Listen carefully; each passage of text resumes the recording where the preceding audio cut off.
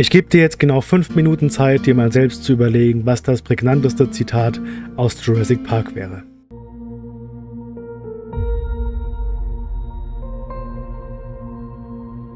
Und hast du eins gefunden? Ich schätze mal, der ein oder andere, wahrscheinlich sogar die meisten von euch, würden jetzt das Zitat auf ein Blatt Papier schreiben: Life finds a way. Also das Leben findet einen Weg. Ein Zitat von Dr. Ian Malcolm, das auch wirklich genau auf das zutrifft, was in allen weiteren Jurassic-Filmen bis hin zu Jurassic World Dominion passiert. Wir können die Dinosaurier nicht einsperren, wir können die Natur nicht beherrschen, die Natur beherrscht uns. Das Leben findet immer einen Weg. Zur Erkenntnis, dass Dr. Ian Malcolm recht hatte, kam Dr. Alan Grant zum allerersten Mal in Jurassic Park 1 aus dem Jahr 1993, als er mit Lex und Tim gerade vom T-Rex entkommen ist und dann finden sie hinter einem Baum, hinter einer Baumwurzel plötzlich einige Eier. Diese Eier sind allerdings schon aufgeplatzt, das heißt die Dinosaurier sind bereits geschlüpft. Grant hält auf einmal das Ei in der Hand und schwenkt es herum und sagt dann ganz bedeutungsschwanger, Malcolm hatte absolut recht, was natürlich auch stimmt. Habt ihr euch aber schon mal gefragt, was für Dinosaurier aus diesen Eiern geschlüpft sein könnten? Es gibt eine offizielle Antwort dazu und die erfährst du in diesem Video. Viel Spaß!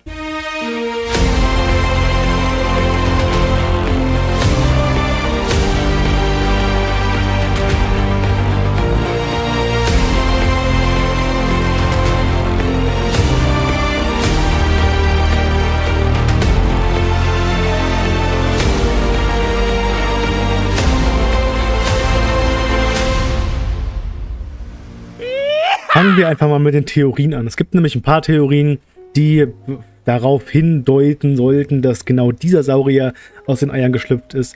Und zwar gibt es einige, die darauf hinweisen, das muss doch eigentlich eine Brut vom Tyrannosaurus Rex gewesen sein. Warum? Naja, Kurz nachdem Dr. Alan Grant, Lex und Tim, nein Quatsch, er holt Tim aus dem Auto raus und flüchtet dann eben mit Lex und Tim zusammen vor dem herunterfallenden Auto bevor es auf den Boden aufschlägt. Und kurz vor dieser Szene sind sie eben in das T-Rex-Gehege abgestiegen. Das heißt, viele gehen davon aus, auch die Szene, in der Dr. Alan Grant das Ei findet, muss noch in der T-Rex, äh, muss noch im T-Rex-Gehege spielen. Das ist die Theorie Nummer 1, die lassen wir einfach mal so im Raum stehen. Theorie Nummer 2 ist die Velociraptoren. Mal wieder, es sind immer die Velociraptoren. Hierzu ist die Aussage, oder hierzu geht die Theorie auf die Fußspuren am Boden im Sand zurück. Da sehen wir dann verschiedene Fußspuren, die eben von den Eiern wegführen und diese Fußspuren sehen, laut Theorie, exakt so aus, wie eben auch die Fußspuren, die wir später sehen, als die Velociraptoren wirklich aus ihrem, aus ihrem Gehege ausbrechen und Robert Muldoon und Ellie Settler diese Spuren in den, in den Wald, in den Dschungel verfolgen. Mir ist jetzt hierbei aufgefallen, dass manche von diesen Fußspuren äh, zwei, äh, zwei Zehen haben, andere haben wieder drei Zehen. Das heißt, es könnten auch zwei verschiedene Saurier-Spezies sein. Das wäre jetzt nur meine Theorie, aber kleiner Spoiler, die ist schon mal falsch.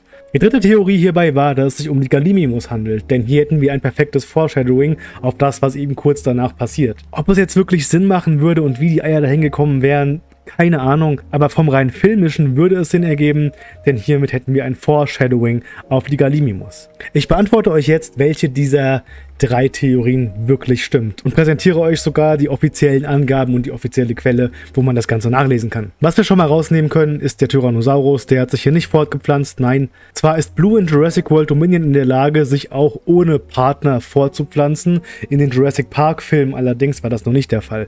In Jurassic Park war es noch so gewesen, dass wir eben Weibchen und Weibchen haben und dann aufgrund der Frosch-DNA von Fröschen, die ihr Geschlecht verändern konnten, konnten das auch einige Dinosaurier. Und dann wurde aus Weibchen ein Männchen und dann ähm, ne, das andere übrigt jetzt euer krankhaftes Kopfkino. Den T-Rex können wir also schon mal ausschließen. Jetzt haben wir eben das Thema Foreshadowing. Das habe ich eben gerade schon mal angeteasert. Foreshadowing ist eine filmische Sache, die sehr häufig genutzt wird, eben um darauf aufzubauen, aha, da passiert noch irgendwas. Und genau das ist auch hier der Fall aber nicht mit den Gallimimus. Auch die sind offiziell nicht richtig. Laut der kanonischen Website Dinosaur Protection Group, ich habe euch den Link der Seite mal hier oben ins Infofeld reingepackt, da könnt ihr gerne mal draufklicken, stammen diese Eier ganz klar von den Velociraptoren ab. Ich blende hier mal kurz das Zitat von der Homepage ein und dann können wir darüber quatschen, ob das wirklich Velociraptoren sein können. Auf dieser Website ist angegeben, auf der Isla Nubla Velociraptoren. Aktuelle Population gezählt drei.